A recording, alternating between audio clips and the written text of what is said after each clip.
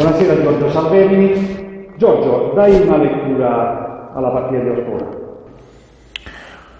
Una partita mm, eh, che riservava tante insidie, soprattutto sotto un aspetto mentale, ma è una cosa che in questo momento dobbiamo cercare di combattere eh, e che stiamo facendo. Oggi abbiamo fatto siamo stati dentro lo spogliatoio a cercare di analizzare determinate situazioni. Eh, quello che intendo dire è che eh, abbiamo giocato una partita in cui siamo stati eccellenti per alcuni aspetti offensivamente, ma siamo stati non attenti e determinati e concentrati su quello che normalmente eh, facciamo in difesa. Ed è una cosa che mi dà prurito, mi dà fastidio perché abbiamo concesso 14 punti in più rispetto a quelli che concediamo normalmente, abbiamo concesso una percentuale al tiro da tre punti maggiore rispetto a quella che concediamo normalmente alle squadre avversarie, un numero di rimbalzi superiore eh, e questo spesso arriva eh, da una non attenzione su quelli che possono essere i dettagli che poi oggettivamente sono determinanti nell'arco delle partite eh, ed è una cosa che non ci possiamo permettere, che dobbiamo essere invece, eh, dobbiamo tenere sempre presente e che poi a volte si formano, eh,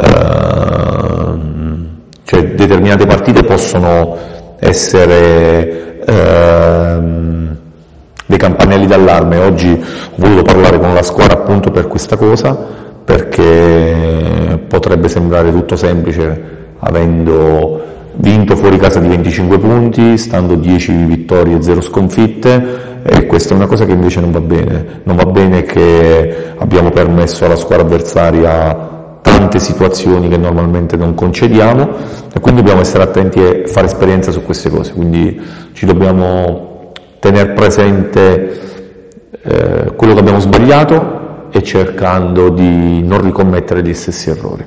Ed è un aspetto, soprattutto quello difensivo, sul quale stiamo battendo dal 20 di agosto e molte volte abbiamo sabato eh, fatto delle cose che non ci hanno caratterizzato fino a questo momento e quindi ho voluto partecipare, far partecipare la squadra a questa, a questa cosa Ringrazio i due assistenti che hanno fatto un video molto esaustivo e molto dettagliato e preciso su questi aspetti. Eh, abbiamo condiviso con una squadra, come facciamo sempre, le cose positive e le cose negative. Eh, dobbiamo stabilizzare e crescere sulle cose positive e dobbiamo limare il più presto possibile determinate cose che abbiamo sbagliato e ce ne sono state. Mi ha bruciato la seconda domanda perché è proprio quello che ti volevo chiedere, sia con Porto Sant'Elpidio che con Ortona c'è stato un po' di calo, eh, non tutta la partita chiaramente, però in alcune situazioni un po' di calo.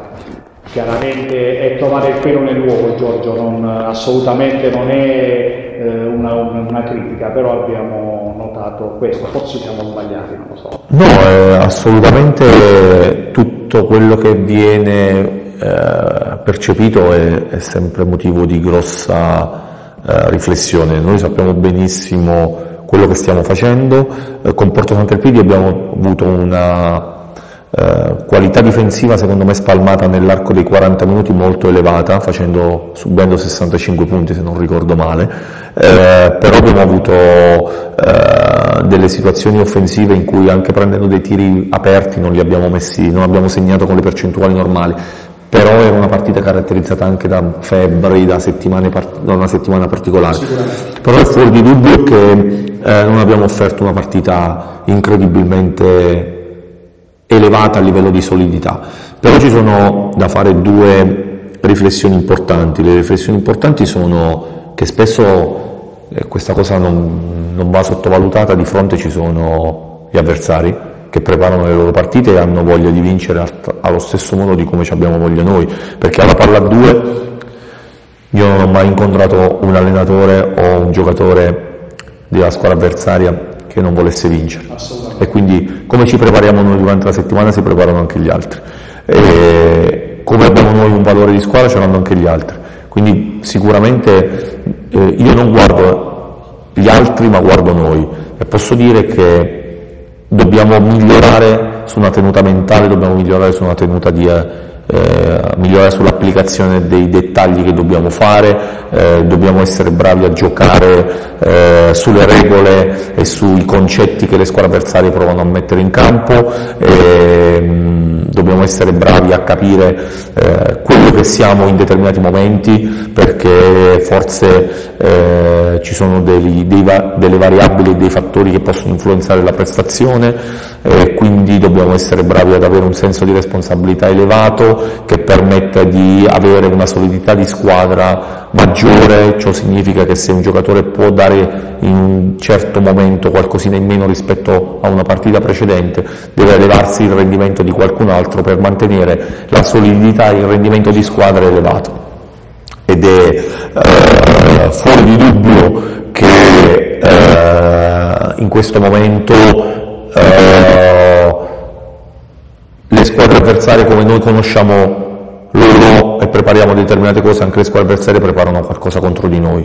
E quindi sicuramente eh, non, non sono state due partite incredibilmente eh, fluide come abbiamo offerto in altre prestazioni, però da qui ad arrivare a ehm, ehm, leggere qualcosina di particolare o di strano non mi sembra ancora il momento, sicuramente ci sono dei campanelli d'allarme che possono essere sulla solidità mentale ed è una cosa che pretendo quotidianamente dal livello degli allenamenti, ma noi sappiamo dove dobbiamo lavorare, quello che dobbiamo fare e come ci dobbiamo approcciare alle partite. Eh, abbiamo grossissimi margini di miglioramento come squadra e stiamo cercando di migliorarci quotidianamente. Poi ci sono dei periodi durante le stagioni in cui ci sono delle cose che devono essere consolidate. Fin quando non sono consolidate quelle cose, lo step successivo non, è, non, siamo ancora in grado di farlo, per come siamo noi come squadra. Adesso stiamo provando a consolidare delle cose, stiamo lavorando su alcuni aspetti e non sono solamente tecnici, tattici, strategici o fisici, ma ci sono anche degli aspetti mentali, perché poi eh, la testa è quella che muove i muscoli, quello che fa star tranquillo, quello che fa pesare di meno una palla, un possesso, il che fa eh, aggredire gli avversari in senso sportivo. Quindi dobbiamo essere bravi tutti quanti, e parlo di società, staff tecnico, eh, giocatori, pubblico, dobbiamo capire tutti quanti come dobbiamo stringerci e consolidarci.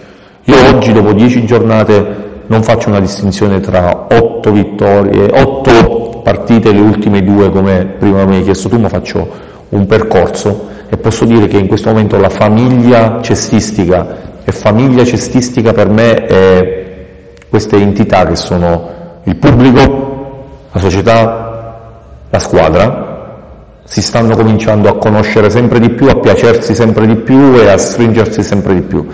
Quindi mh, mm, le percezioni, le sensazioni sono positive perché ho la possibilità di stare a contatto quotidianamente con persone di profilo elevato. Quindi le persone di profilo elevato sanno dove sbagliano e sanno che non, devono cercare di ricommettere il meno possibile gli errori che hanno commesso e quindi che ci vale da esperienza, quindi ho percezioni quotidiane da questi ragazzi e so dove ci troviamo perfettamente. E il pelone nuovo Giorgio, eh? per l'amor di Dio, non ci possiamo lamentare assolutamente. No, ma il pelone nuovo l'ha sempre trovato perché io ho detto alla squadra oggi, ho fatto questa metafora che ho fatto il 20 di agosto quando sono entrato e l'ho rifatto oggi preferisco andare dal dentista appena ho un piccolo dolore perché spendo di meno e sento meno dolore. Quindi mm, sappiamo, torno a ripetere, sappiamo dove ci troviamo, sappiamo quello che stiamo facendo in questo momento, tutti, e questo è importante.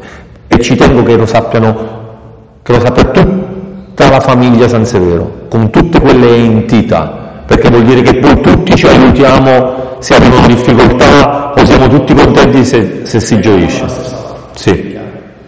Giorgio, poi un'ultima domanda la faccio a una persona che sta a cuore a me, ma penso che stia a cuore a parecchie, parecchie persone, parecchi tifosi. Eh, hai dedicato queste dieci vittorie al Presidente. È una persona speciale, eh, avrà mille difetti, ma non gli manca il cuore e la passione per la pallacanestro.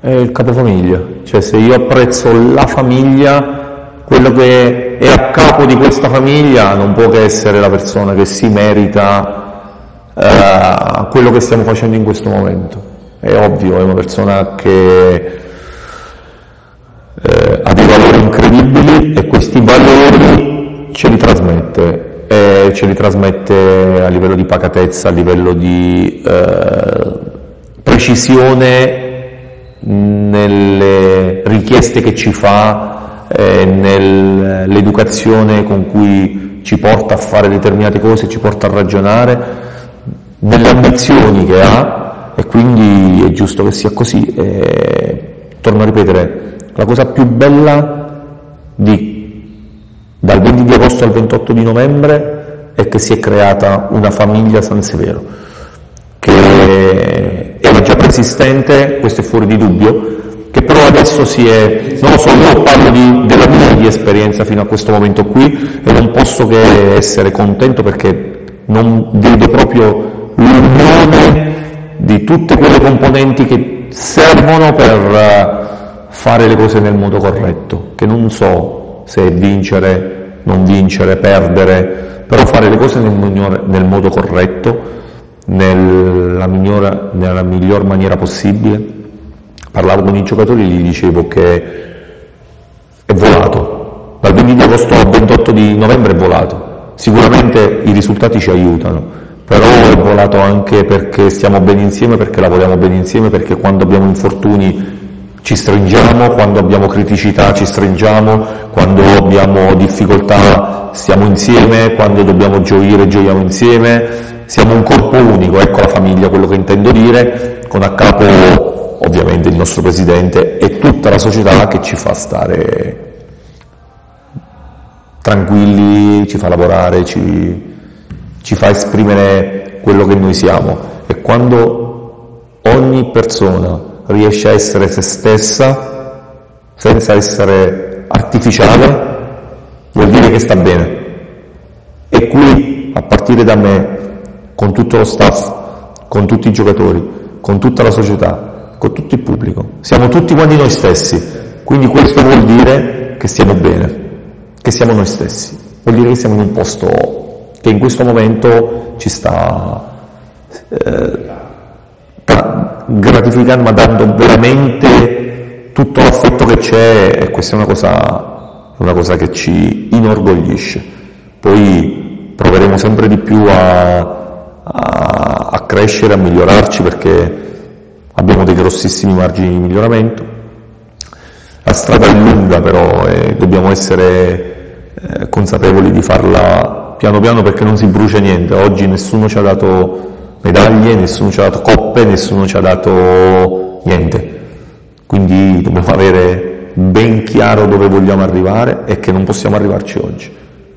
E la società oggi, parlo di società civile, oggi è abituata a non conquistarsi le cose perché basta prendere un telefonino, ci si scarica un'app e dopo tre secondi si raggiunge l'obiettivo questo è uno sport dove gli obiettivi si raggiungono gradualmente e ne siamo consapevoli e nel periodo, eh, nel percorso che dobbiamo fare ci momenti, ci sono momenti grandissimi, momenti di più difficoltà, di meno difficoltà, però anche nelle ultime due partite in cui abbiamo avuto delle difficoltà siamo stati uomini, siamo stati squadra, siamo stati famiglia. Siamo stati famiglia, quindi questo è un momento di crescita notevole che mi voglio tenere e sono contento di questo. Poi domenica avremo una partita difficilissima e speriamo di consolidare determinate cose e di, di aver fatto esperienza di altre. Va bene, ringraziamo Giorgio. No, grazie a voi. Dopo il duro lavoro del, del pomeriggio. No. no. grazie a voi. Il duro lavoro è per i giocatori, noi eh, facciamo di meno. No, no. Io vi ringrazio, vi aspetto domenica sempre più numerosi. Grazie Giorgio. Grazie a voi.